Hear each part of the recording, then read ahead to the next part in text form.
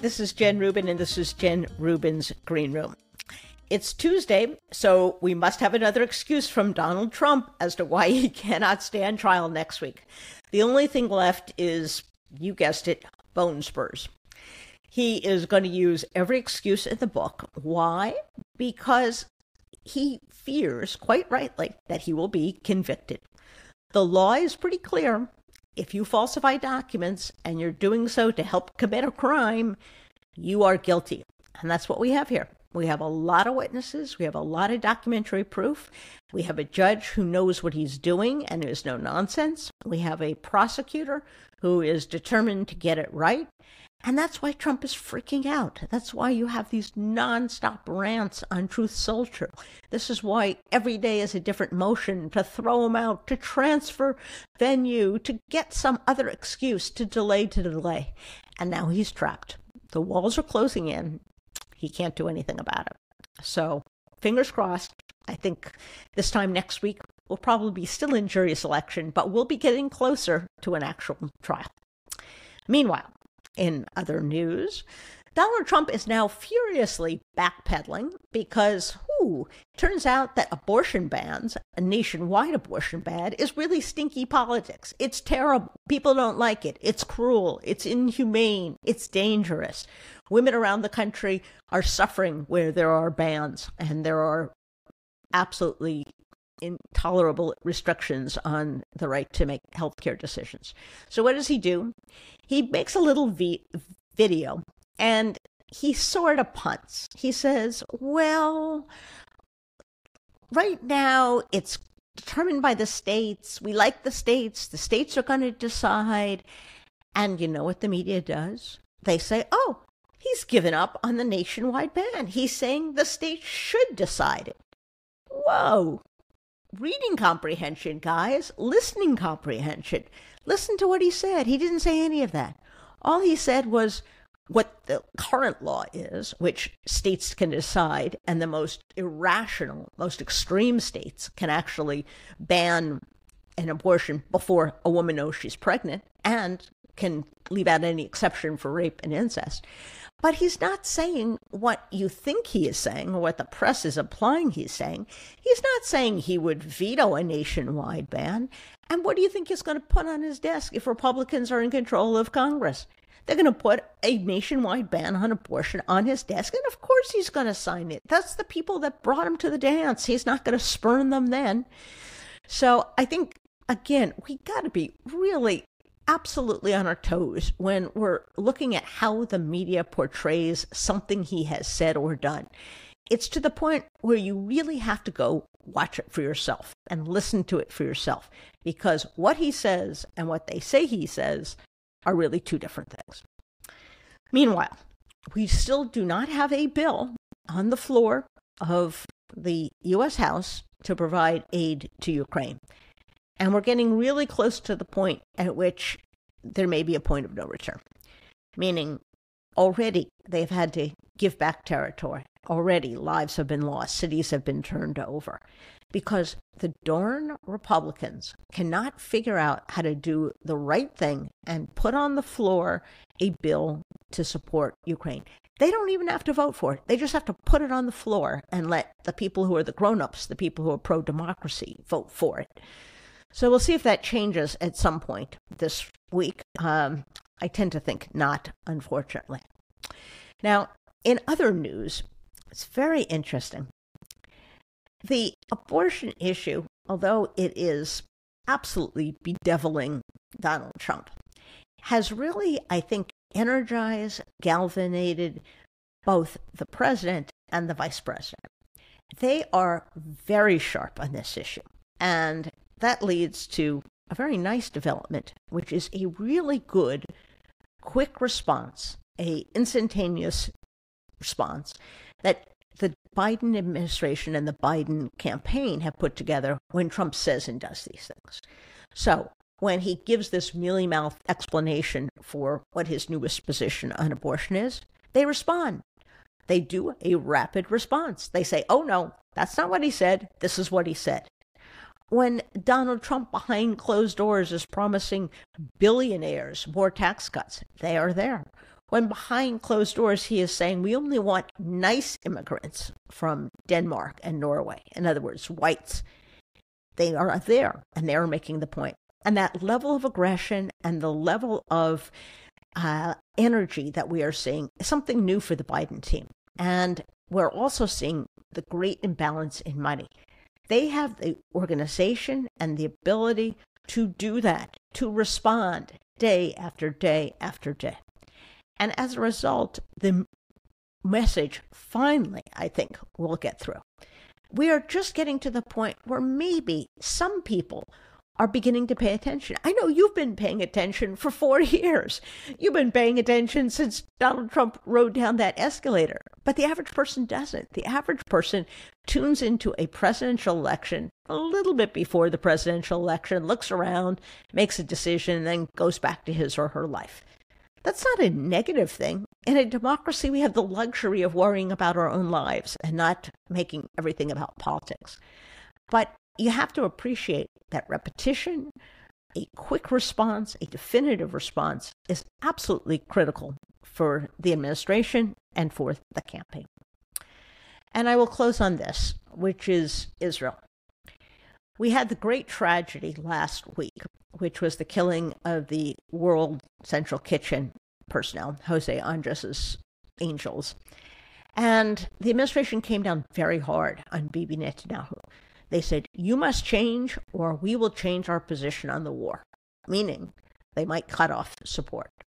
Wouldn't you know, immediately there was a ramp up in aid getting through. Immediately there were plans being put into place finally for deconflicting. And oh, by the way, there are very few Israeli soldiers that are still left in Gaza. Why is that? Well, for one thing, they've gotten a lot of the fighters out of there. And for another, I would keep your eye on this never ending refrain about Rafah. This is this great maneuver that they're going to go in, they're going to clean them out once and for all. Listen, Bibi has been saying this for weeks and for months. This is a way of perpetuating his own stay in power. This is a way of keeping his right wing coalition together. This is a way of inciting progressives around the world to criticize him, which in turn makes his support at home stronger. I don't know that he's going to do anything in that regard. And we still have talks going on with the Egyptians, with the Qataris, with Hamas, with Israel in various incarnations, um, not all obviously in the room together. But I wouldn't give up entire hope that there may be a peaceful, a long and coming, an overdue diplomatic solution. And that's because the president carries a lot of weight. And using that voice, using it in a particularly sharp, emphatic way, I think has had an impact. At least we hope it has.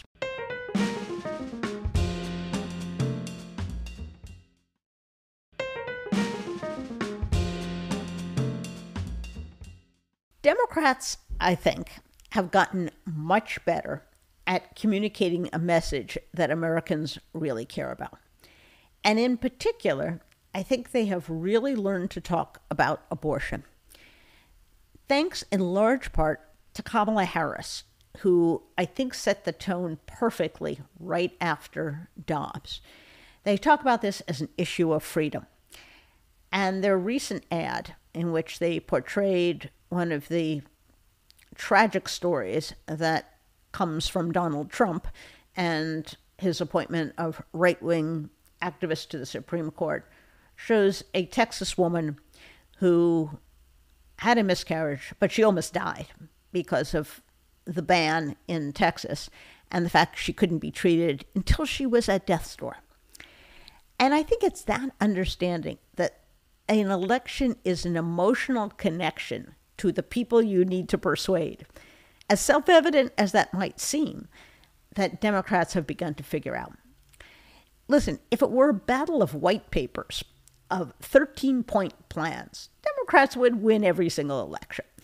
But it really isn't. It's about an emotional connection that gives voters something that they want. That might not be a policy, that might be a sense of belonging, that might be a sense of security, that might be a sense of self determination, but it's a connection. And people who are very good at understanding this, because they do it for a living, are writers, directors, producers. And we are so fortunate today to have one of them who not only is a great writer, director, producer, but also spends a lot of his free time trying to save democracy. Billy Ray is the screenwriter, among other things, of Hunger Games, of Captain Phillips. He is the artist behind the Nicole Kidman ad on AMC. He is a brilliant filmmaker, but he's also a brilliant message artist. And that's what we want to talk to him about today. Billy, welcome to the show. It's really a privilege to be here. My absolute privilege to have you. And you are the writer and director, I believe, of a film from a number of years back. You have lots of films actually, but one in particular that I love because I'm fascinated by the Cold War, by spies, by counter spies, and that was Breach, which was the story of Robert Hanssen, who I find of all of the spies the most bizarre character because he was this super Catholic, religious, almost fanatic, and yet he was a spy for the Soviet Union. How did you come to understand him when you were doing this film? What what was the key to understanding him? I don't know that someone like that is actually understandable um, in the way that you and I could understand each other. Um, part of writing a character like that is to make the decision that our actions define us. In other words, we are what we do. At the end of the day, what he talked about was uh, piety and and strict adherence um, to faith, um, and an almost uh, obsessive interest in safeguarding our country, um, and a very puritanical um, position on sex. And it turns out that he was spying for the Russians for 22 years uh, and making a lot of money doing it. He was sending off sex tapes of his wife to a friend of his in Germany. Um, he was risking other people's lives, and, and we know of three people that were killed absolutely, provably, uh, as a result of his actions, but the number may be 50. Um, he was a just an absolute contradiction. So once you embrace that, you decide that his his dialogue will be one thing and his actions will be something else. And the audience, if they ever want to, can turn off the sound and then figure out who he really was fascinating. Now, he was spying, there was overlap between him and Aldrich Ames. So there was a little bit of difficulty in figuring that out, that there were actually two spies. Um, but one of the things that struck me, and I just read a great book about a Cuban spy, um, Ana uh, Montes, who was within the Defense uh, Intelligence Agency for like 20 years spying for the Cubans are we incapable of figuring out who's a spy and who's not? It's really kind of gotten to me. We have all these spy agencies, they have all kinds of super duper equipment, they have lie detectors, they have all kinds of rules. Can we just not figure out who's a spy and who's not? It's a little disconcerting, to put it mildly. Um, I tend to be drawn to stories about American institutions. And what fascinates me about them is that, of course, the FBI or the CIA or the Atlanta Journal Constitution or the New Republic magazine um, or NBC News, they're not actually institutions at all. They're groups of people who are stewards of an institution. And those people can have good judgment or bad judgment, good intentions or bad intentions, but it's not the buildings that are making the decisions, it's the people in them. Um, you know, the, the Department of Justice is a very different thing um, when run by Bill Barr than it is when run by someone who believes that we should actually follow the law. Right. And it's a and the post office is a very different thing run by Louis DeJoy than it is uh, when it's being run by someone who believes that the post office should not be uh, used as a political weapon. Um, again, it's the people. And so I look at a case like um, like uh, Hanssen's, and I remember that he was the guy that was put in charge of finding the spy. Right. He's right. the reason the FBI kept looking towards the CIA. That and a certain institutional arrogance that the FBI was suffering under at that point.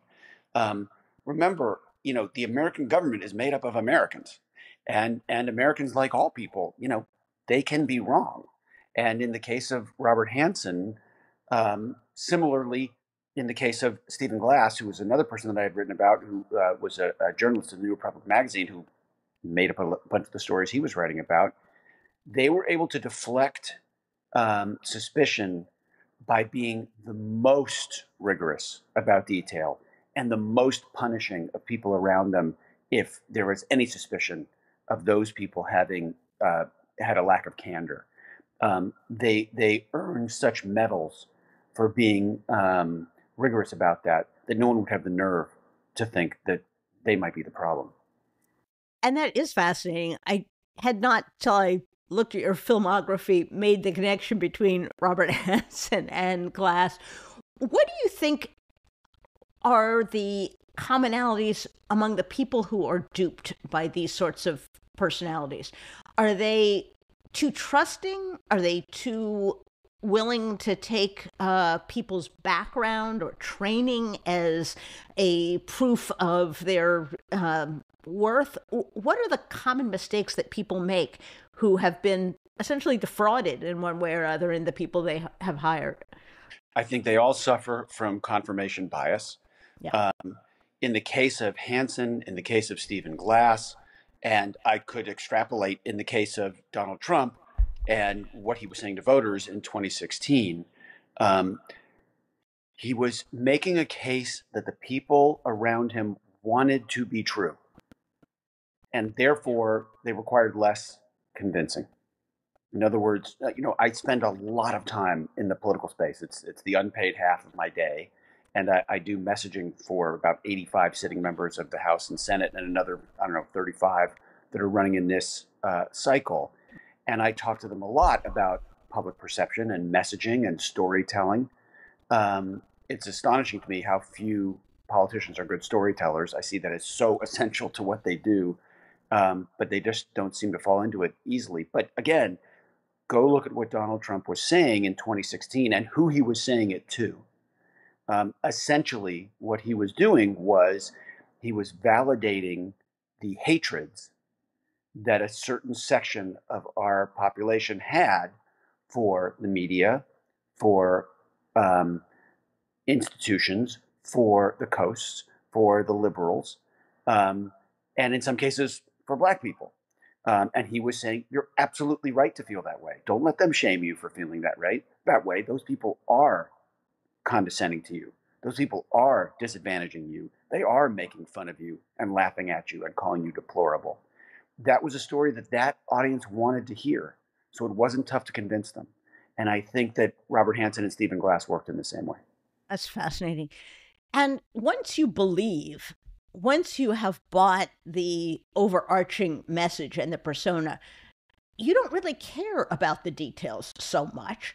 So even if you prove that the economy was worse under Donald Trump, that our uh, alliances were worse, you give them all this data, it's not going to make a difference because on an emotional level, it's not everyone, but the segment of his core supporters are glued to him, not because of policy positions, but because of this kind of call and recall cycle that they're in with him, where he reflects back their hatreds, their anxieties, and makes them feel powerful and makes them feel that they're part of something bigger than they otherwise would.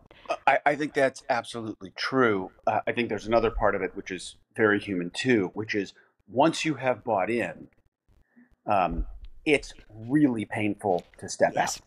Yeah. Um, it's very difficult to um, to take that off ramp and say, "Oh, I could have been wrong about this guy," because nobody is so-so on Donald Trump. You're either all in or you're not. And if you've been all in, to then say, "Oh, I was that wrong," Um, that takes a pretty special kind of person. Um, be a, a, a very, very hard thing to do. And um, and and the group of people that have put him or that did at one point put him in power um, some of them have fallen off. Uh, you know interesting um, in 2016 he won 80% of the evangelical vote in michigan.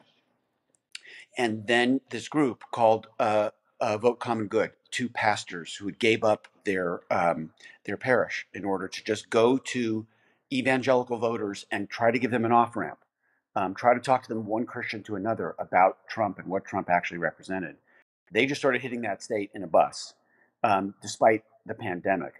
And four years after 2016, they had knocked Trump's evangelical vote down in Michigan from 80% to 71% in 2020.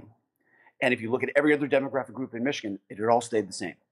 Fascinating. Just losing 9% of the evangelical vote swung It's that. huge. way It's huge.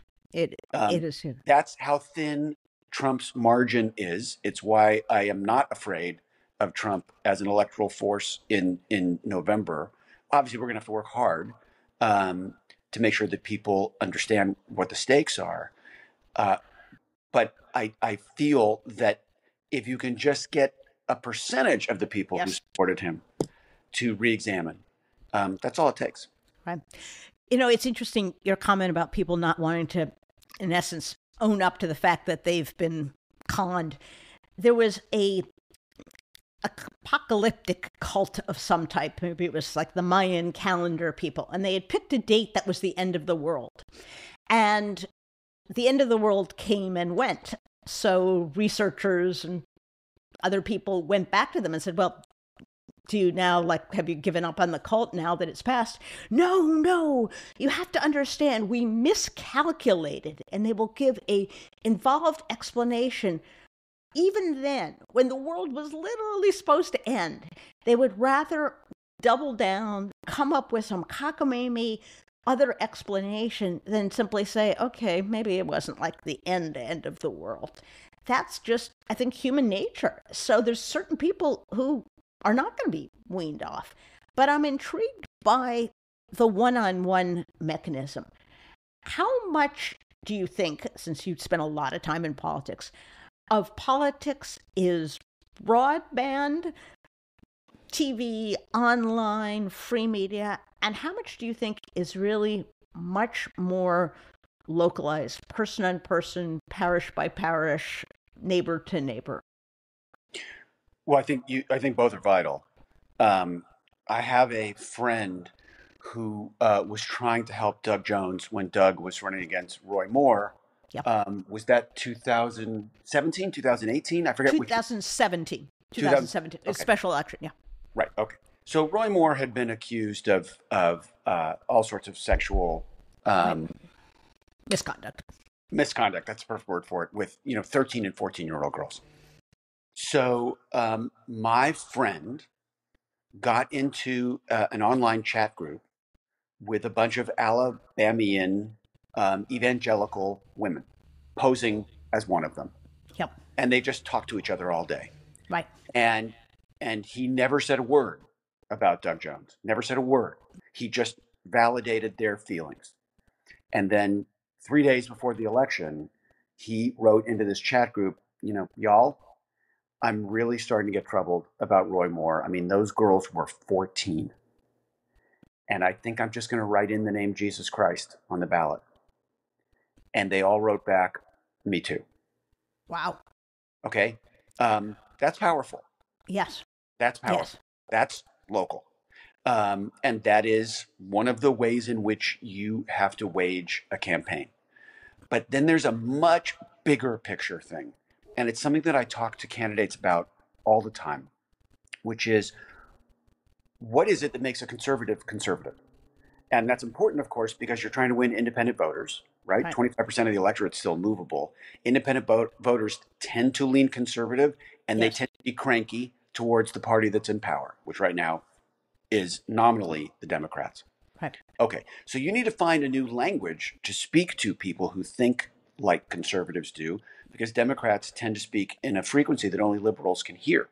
Right. Um, and then they're mystified that they don't win independent votes. Right. So here's here's the 411 on this, okay?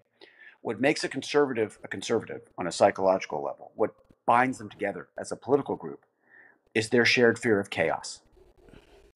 That is what has been aimed at every single uh, Republican voter and independent voter for as long as I've been uh, alive by Republican candidates. And by the way, it's the reason why those people are clinging to the Mayan calendar. It's the reason why QAnon stays QAnon and keeps recategorizing um, and repurposing its own failed theories. And it's why people vote conservative. By that I mean that in 1988, the Willie Horton ad, which ended Michael Dukakis's campaign, essentially yes. said if you vote for Michael Dukakis, a black convict on furlough is going to come murder your family. Right. right? Democrats are soft on crime, chaos. Then after 9 11, Democrats are soft on terror, chaos. Now it's Democrats are for open borders, Democrats are for burning cities, Democrats want to defund the police, Democrats don't care if your son becomes your daughter, chaos, chaos, chaos. If you give a conservative the choice between authoritarianism and what they perceive to be chaos, they will pick authoritarianism every time. They're doing it right in front of us. And so, what Democrats need to understand is that conservatives, because they are frightened by chaos, um, they like borders around things. They like borders around countries. They like borders around gender. They like borders around sexuality.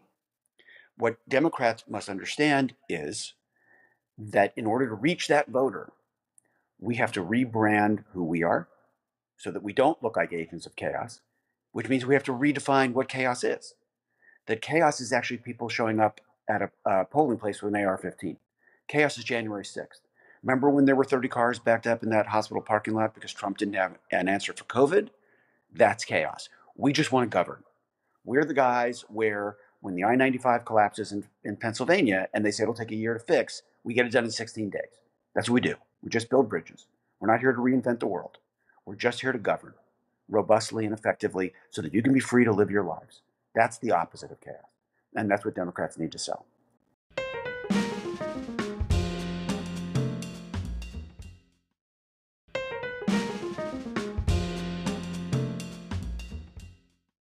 That is fascinating. And of course, when you look at the three stools of the original Reagan coalition, which is essentially the modern political uh, conservative movement. It was fear of communism, chaos. It was fear of a regulatory, aggressive state that was going to take all your money away and make your business fail. So, chaos. And it was traditional family values because we were undergoing a period an ongoing period since the 1960s of social change, reinvention, cross culturalism, multiculturalism. And so, in a sense, all three of those, although they had a policy name on them, speak to your issue of chaos. That's right. I mean, that that's the thing that look. I've been studying this since the, the night that uh, that uh, Trump was elected when I went into the tank so hard. It was yes. I couldn't eat or sleep. I needed to yes. be med- It was pretty bad. Um, and I've been studying this ever since. I put myself at the feet of people who understood political messaging and I learned it. And it really comes down to something very simple. All elections come down to two things. What do people want? What are they afraid of? Okay? What people are afraid of right now is chaos.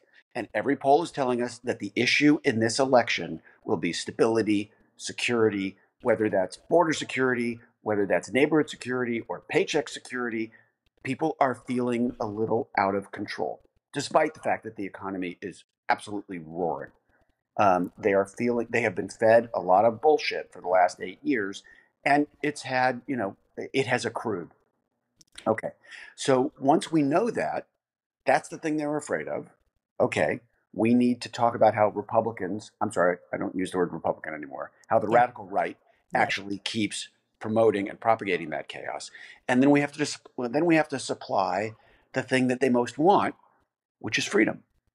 If you poll Americans on what virtues mean the most to them, freedom is number one, and it's not close. Freedom yeah. outpolls justice as a virtue in America by 22 points, yeah. which will come as no shock to any black person who's been saying forever, hey, justice, justice, while white America's been saying, well, yeah, justice. I mean, it's important, But what I really want is the freedom to say stupid shit and not be called a racist. Right. Right? Freedom And- everything. Just just to finish the point, the Yeah. second guns stopped being a safety issue and started being a freedom issue, well, someone could walk into Sandy Hook and shoot 20 kids and not change the law. The second masks and vaccines stopped being a health issue and started being a freedom issue, things got really weird. Americans don't want their freedoms taken away, and it's why um, abortion is the issue to run on because it is a freedom that was taken away by conservatives. Absolutely. And that's where I was going. I said it when Dobbs came down. I've said it since. I think there has been just a grotesque underestimation of the power of that issue because a mostly male media, mostly male political structure does not understand the level of panic, the level of anger of women who look at this and say, I'm going to get pregnant accidentally and I'm not going to be able to do anything about it. That is the ultimate loss of control. That is the ultimate sense that you are not your own person, that you are a victim of other forces. And it's interesting, the first person to pick up on that dynamic and to use the freedom model rather than the choice model or the healthcare model was Kamala Harris. She got it. And if you look back, her first speeches right after Dobbs were freedom, freedom, freedom. And I do think that, I'm interested in your take, that the pro choice movement has sort of figured that out. They were so tongue tied for so long in terms of how to talk about it. Did they want to say abortion? Did they not want to say abortion? Were they saying reproductive freedom? What the heck is that? Most people would say um, that they kind of forgot this is about freedom, like the most incredible kind of freedom, whether to have a child or not. So I think they have gotten better. Um, what do you tell Democrats about the abortion issue in terms of messaging, in terms of highlighting that it is the ultimate loss of control, the ultimate loss of freedom when the government can run around saying when you can have kids and when you can't? Um, what I say to them is that if I were debating a Republican candidate um, in a televised debate, um, let's just say that I was uh, uh, Sherrod Brown. Right. I was running against, I forget the name of that dipshit that he's running against. Yes, who apparently faked being shot in the arm, but you know, Well, yeah, Okay. But if I were Sherrod Brown, I would say, hey, um, will you take my 90 seconds on this one? Because I need you to explain something to me. Um, I literally don't understand what it is that you're proposing as policy. Can you please tell me how government mandated pregnancy is going to work as, as policy? Because that's what we're talking about now. That's what that woman in Texas was dealing with. Yes. She didn't want to have the child. The state of Texas was going to make her have the child. That's government mandated pregnancy. Remember, we don't have to defend abortion anymore. We spent 50 years playing defense. Now they have to defend taking it away. So if I were Sherrod, I would say, okay, let's take my 20 year old unmarried niece. She's pregnant. It's too late to have a conversation with her about abstinence. Okay, she's not ready to have the child emotionally, mentally, or financially, but the state of Ohio is going to make her have that child. Tell me how that works as policy. Are we going to take, um, are we going to create a new layer of police bureaucracy to follow women like that around and make sure they don't cross state lines or go into Canada to get the health care that they want? Okay, that sounds expensive. So, how many bridges aren't we going to build? How many schools aren't we going to build? Which is ironic because the kids are going to need schools.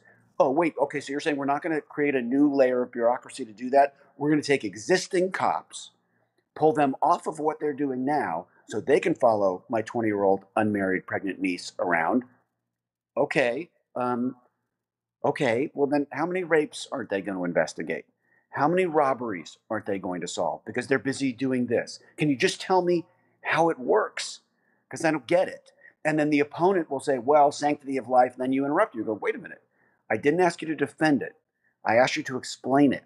Because when you write a law like that and you institute a policy, you need to say how it's going to be paid for, who's going to be in charge, What are the regulations that are involved with it? Can you please take my 90 seconds and just explain to me what the world of government mandated pregnancy looks like? Exactly. What is that candidate going to say? Yes. And that's why, uh, as often as I can, so long as my editors don't get frustrated with me, I use the term not abortion ban, but forced birth. Because yeah. that's what it is. You it's are forcing Dated pregnancy. That's what it is. Yes. And I think the Republicans, this is the proverbial dog that caught the bus. It was so helpful for them when it was out of reach because they could say these things. They could rail at Republicans. They could make up all this hullabaloo about, you know, abortions the minute after birth or the minute before birth or whichever it was.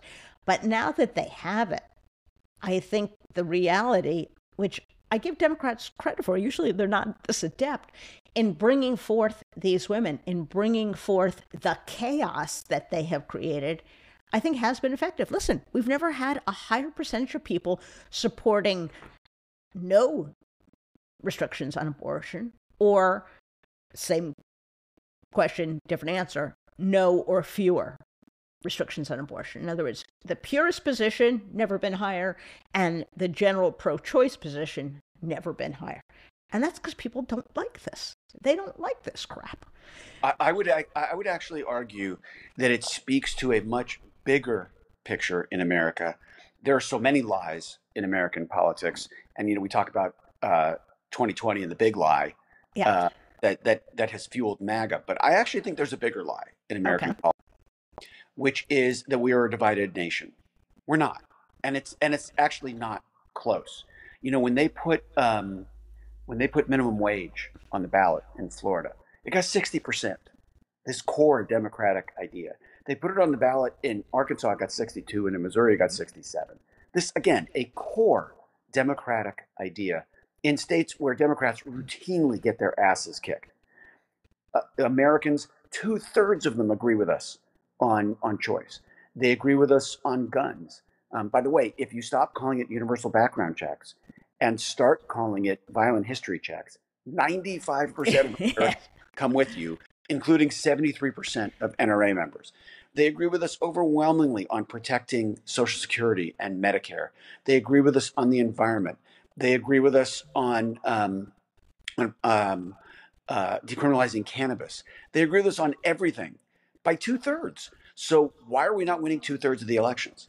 Um, I, I think there's a really, really simple reason for that, which goes back again to 2016, if I may.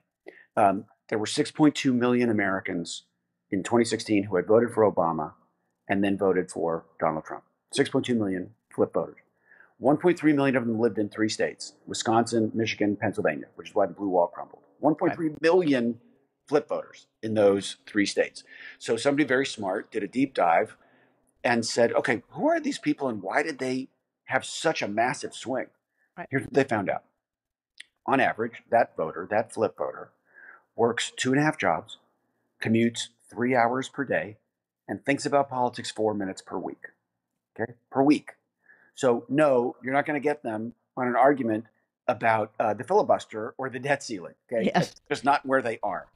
You go up to that voter in Scranton, in Eau Claire, in Lansing, right? Pick the city, the hard scrabble city in any of those states.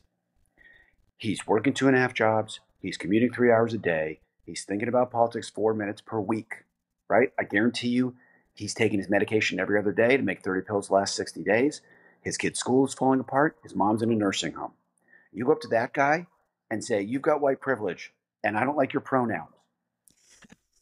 What do you think he's going to say to you? Yes. Whether he has white privilege or not, whether you don't like his pronouns or not, it's got nothing to do with his life. And you're going to send him running screaming into the arms of the nearest Republican because we as Democrats insist that people celebrate things that they've just learned how to tolerate. And they're not the same thing.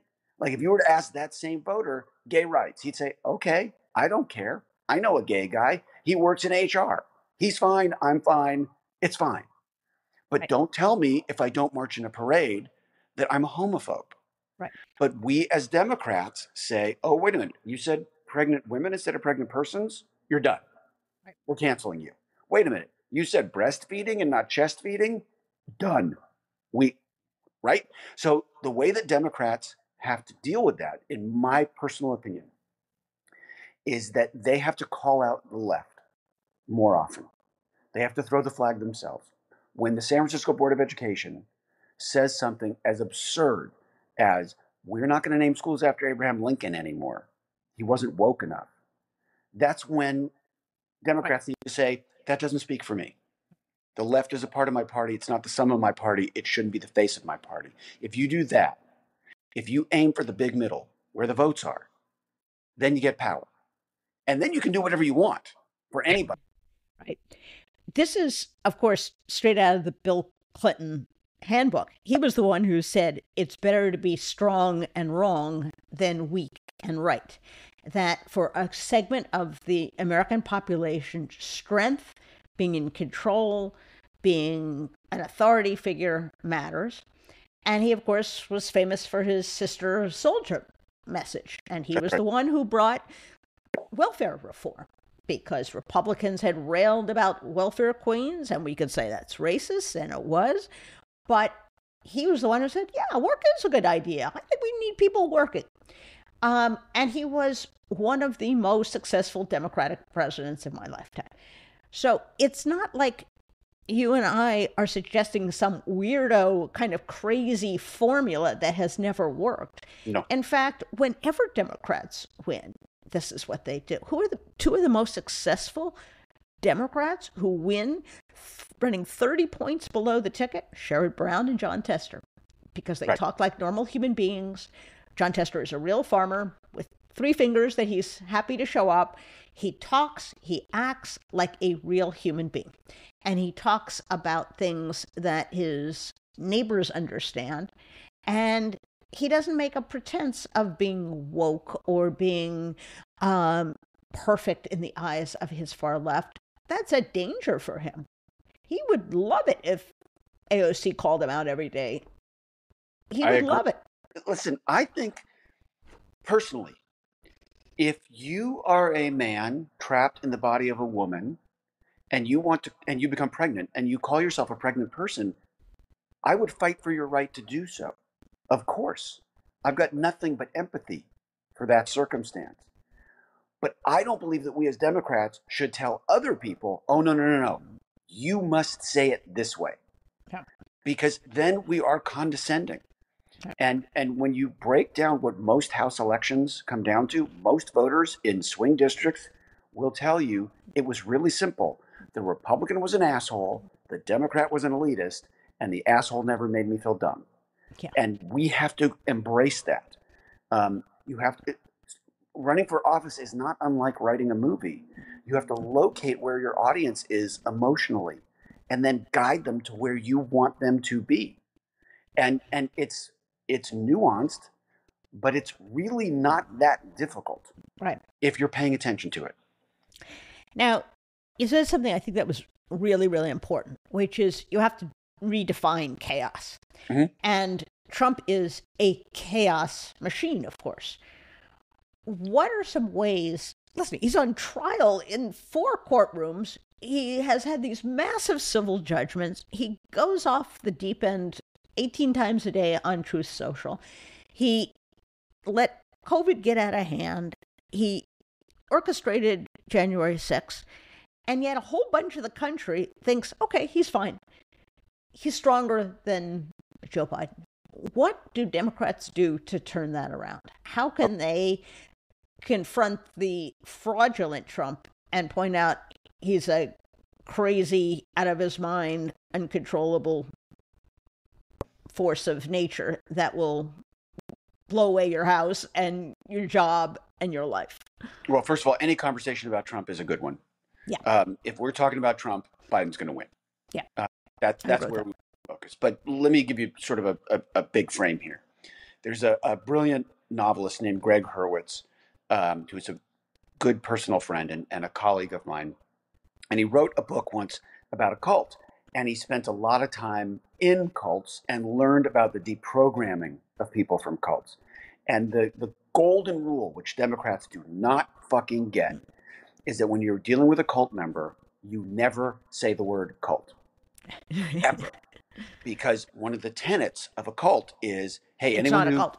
Anyone who disagrees with you is going to tell you you're in a cult. That's how you know that they're a danger. Okay? And it backs them into tribal corners. So the first thing you do is you don't say you're in a cult and I want to help you. What you say to someone like that is, hey, five years ago, where did you picture your life going five years ahead? Are you there? Are you where you thought you'd be five years ago?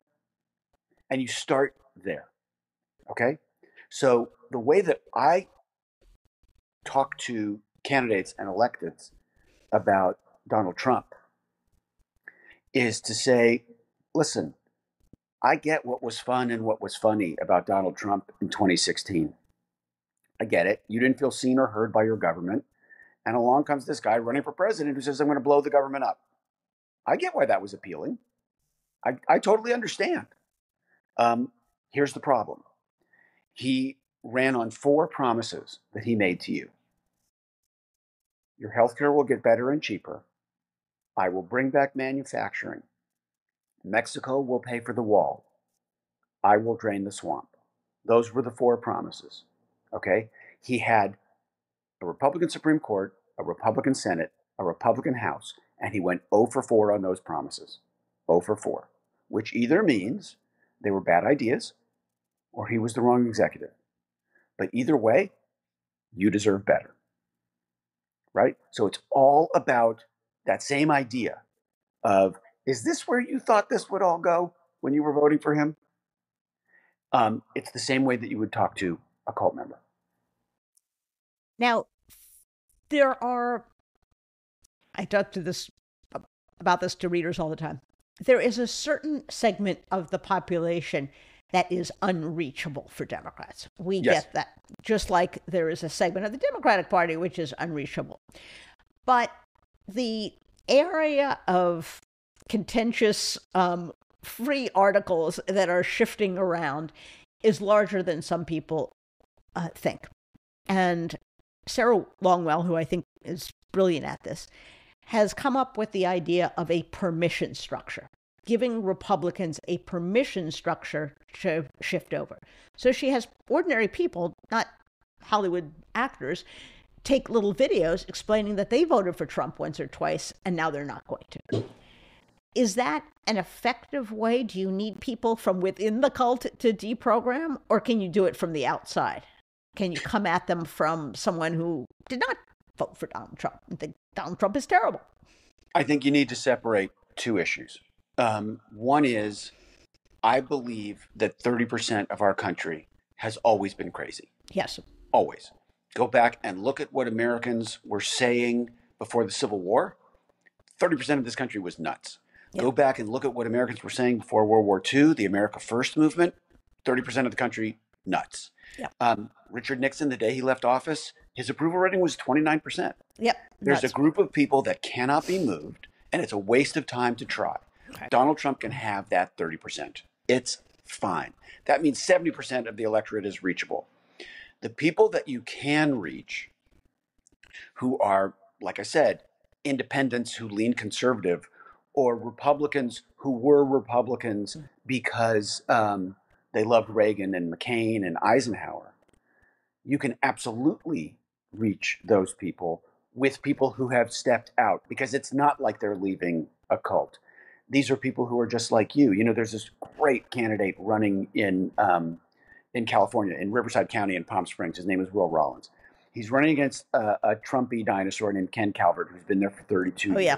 Yeah. Okay. Um, Ken Calvert's personal wealth has gone up $21 million in the 32 years that he's been serving in Congress. Okay. That's an issue. But Will Rollins put out this ad which said, Hey, my grandparents were Republicans. My grandparents loved Eisenhower. They loved Reagan. That was those were their heroes. And they taught me that what the Republican Party stood for was smaller government, law and order, personal accountability, and hawkishness on Russia. I'm a Democrat because the Republican Party now stands for none of those things. Right. Right. And that's the argument to make. If you are a Republican because you liked Reagan and McCain, you need to look at the Democratic Party. Will Rollins as a candidate, um, I believe that's California 41. Will Rollins as a candidate is closer to that Republican ideal Absolutely. than Ken Calvert is.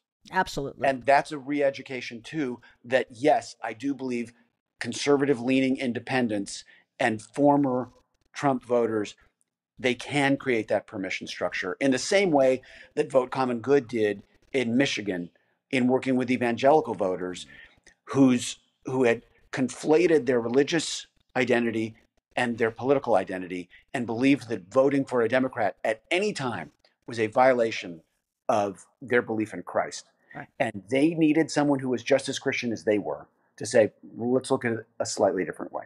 Right. And that can be done.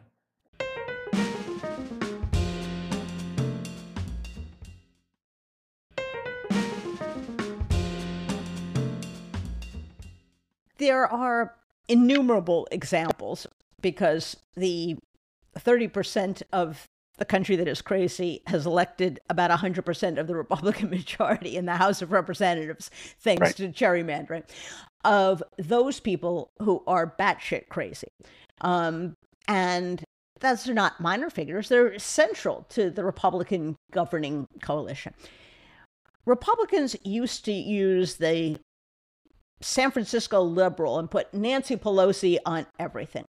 Does it work the other way where you put Marjorie Taylor Greene and Mike Johnson and all the crazy bunnies and say that's the Republican Party when you're running against a Ken Calvert, when you're running against a whoever the guy is in uh, Ohio that Sherrod Brown? Does that work, that association? It works for fundraising, um, but it doesn't bring any uh, independent voters over towards you because it just sounds like you're screaming. Yeah. I, I, I think it's really, really important, again, to locate the audience emotionally, right? Where are they? If you're that guy in Scranton or Lansing or Eau Claire, you're not thinking about politics. Every time I talk to um, someone who's running for the House or, or someone who's already a member of the House um, who's running for reelection, and I talk to a lot of them, and I say to them, How often, when you knock on doors, when you're talking to people on their front porches or in their living rooms or at a county fair or a town hall or a fish fry, how many times do they say to you, It's really important to me that you win because I want to make sure Democrats take back the House? And they say, Never. Yeah. They're always talking about local issues, Right. right? It's water rights or it's w- w- fill in the blanks Right. given given um, given a, a, particular district, right? People aren't thinking about politics in the way that DC thinks about politics, and so yeah, I could. I'm in Los Angeles. I could walk into any living room in West in West LA Right. And- talking about Marjorie Taylor Greene and, and raise some money for somebody. Yeah, I can do that, but I'm not gonna. That's not how we're gonna win Michigan. right. It's not how we're going to win Arizona, Georgia, Pennsylvania, and Wisconsin. And I think we're going to win all five of those states, by the way. But Yeah. we're not going to do it by screaming about Marjorie Taylor Greene.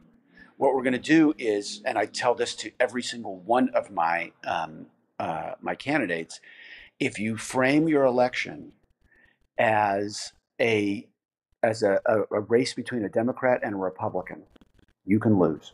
Right. If you frame it as a race between an American and an extremist, everybody knows what bucket they're supposed to be in. Right. So you've got to be talking about extremism as an extension of chaos.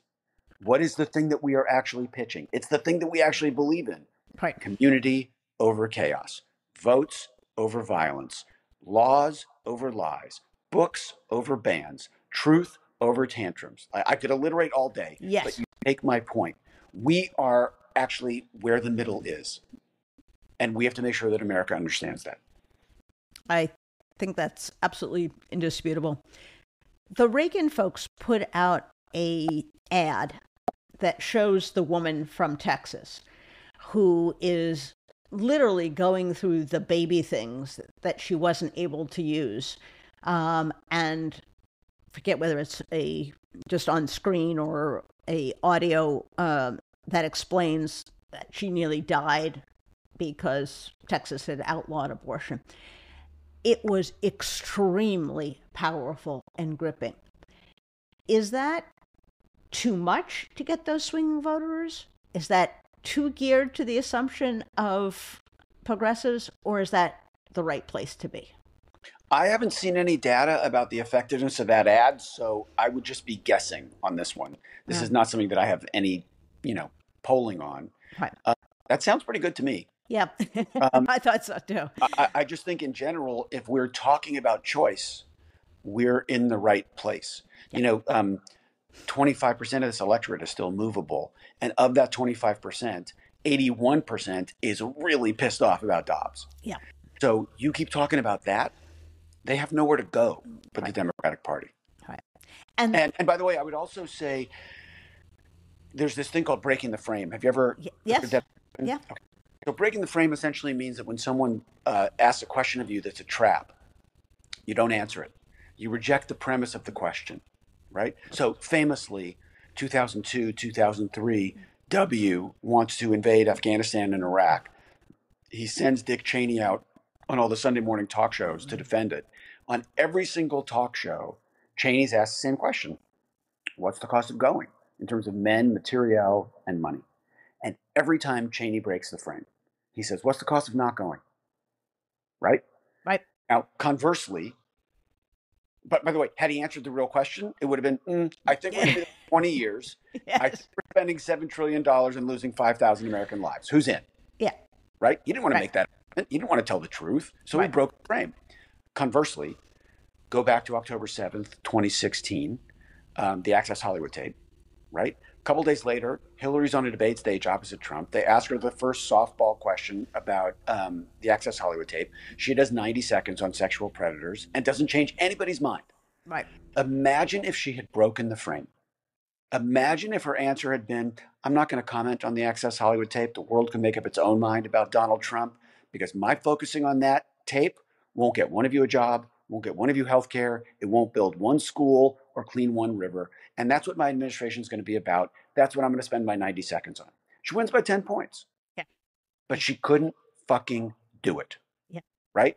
And it, by the way, it's hard for fair minded people to break the frame because they believe if they're asked a direct question, they're they duty answer it. Yes. a direct answer. Exactly. But in their business, like in my business, if you're explaining, you're losing. You're losing.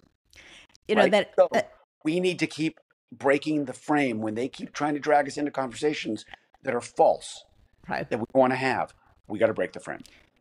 That's so funny. In my prior life, I was a lawyer.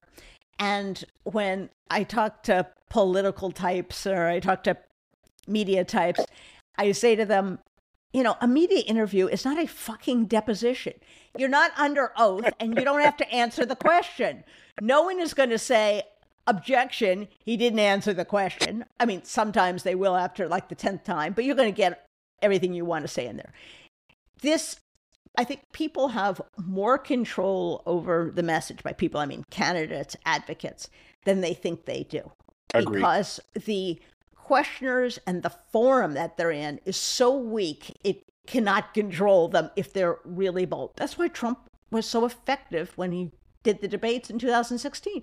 He not only broke the frame, he broke the picture, he broke the furniture, he broke the house, he broke the roof, he broke everything. Um, so I think Democrats really can take control of their message. And I will tell you, I saw it in 2018. Simon Rosenberg and I, I think, were the only humans on the planet who never bought the red wave because we both saw the actual data and we saw what women were doing and saying.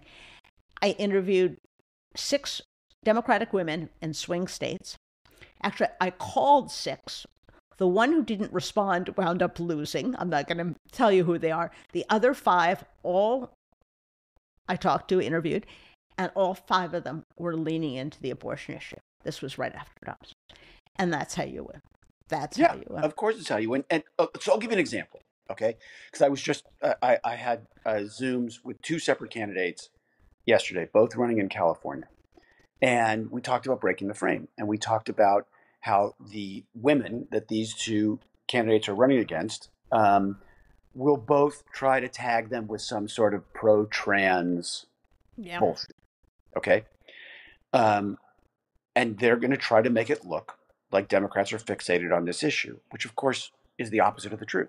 We don't care. They're the ones who keep bringing. Republicans are completely fixated on this issue. So here's how I would answer it. Okay. If I were running against, oh, let me just pull some names out of my hat um, Young Kim or Michelle Steel, Right. uh, two bananas uh, Right. MAGA candidates uh, running out here in Orange County. Right. If I were on a debate stage opposite them and they started to throw some trans bullshit at me, I would say, you know, Michelle, you know, Young, um, I've had the privilege of, during campaigning, of seeing every corner of this district. And people talk to me on their porches, in their living rooms, you know, at town halls, uh, which you guys don't do, by the way. But um, people talk to me about the cost of living and choice and um, how our environment looks and the cost of prescription drugs. Um, they talk to me about all kinds of things. They talk to me about border security. No one's ever asked me about trans issues, ever.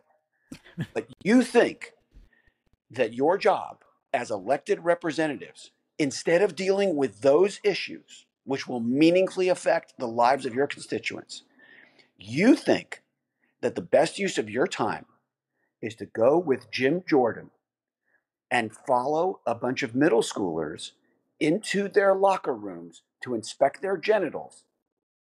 Okay, I don't get that as a fixation. I don't know why it seems so important to you, but that's what you want to do. You're, you think your job is to keep somebody off a swim team? Okay. When you're ready to talk about the cost of living, border security, our environment, choice, and healthcare, come join the conversation. We'll be happy to have you. Until then, stay in your fixation and your obsession. We'll talk after November. That's how I would answer that question. Um, and I think Democrats get that now. I think they do. I think they've come a long way. They've got a long way still to go. Um, but uh, it sounds like they're getting some good advice. Uh, I look forward to hearing Democrats break the frame and say the right things from here on out. Thank you so much for coming on the show. It's been great. And uh, I think Democrats should listen to you. Uh, it's such a privilege, and uh, thank you for letting me come on here and just opine so wildly and freely. That's it. what we're here for. Good seeing you, Billy. Thank you, Jen.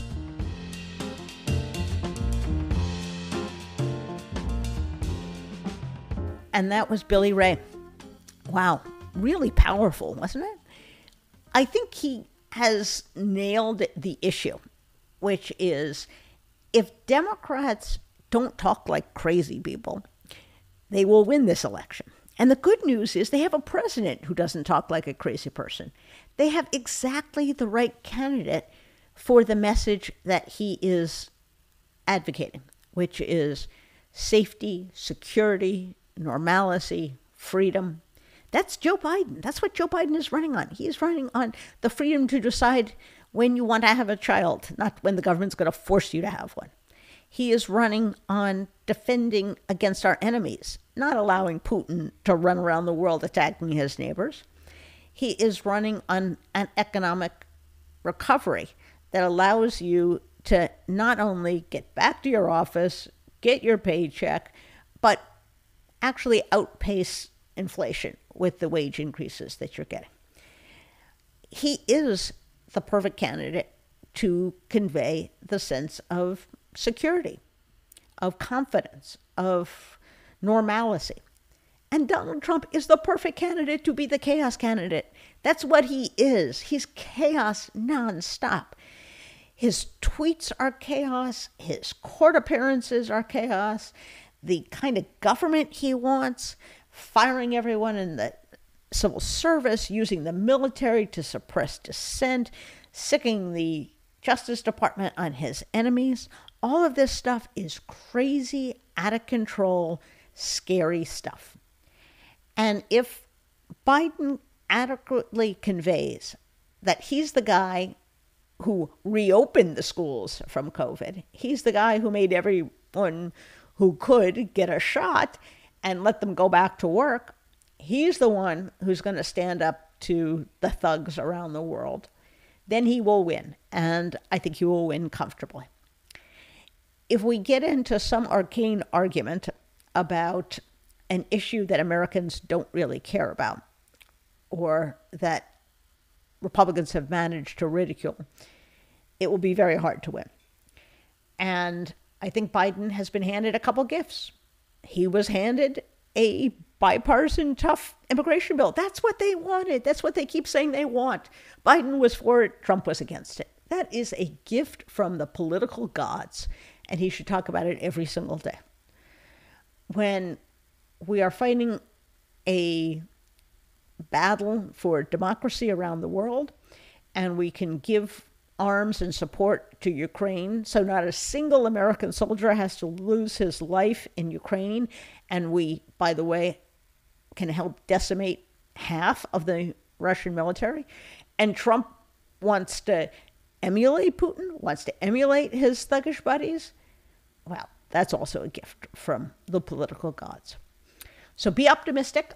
I think this one is going to go well, perhaps better than you imagined. And I think Billy is right.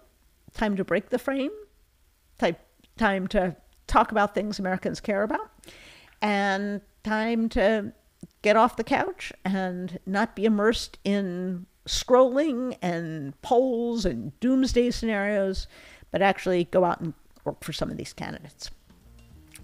If you enjoyed this program and you enjoyed our other programs, please tell your friends. They can follow and subscribe at YouTube, Spotify, Apple Podcasts, or wherever they get their podcasts. Bye bye.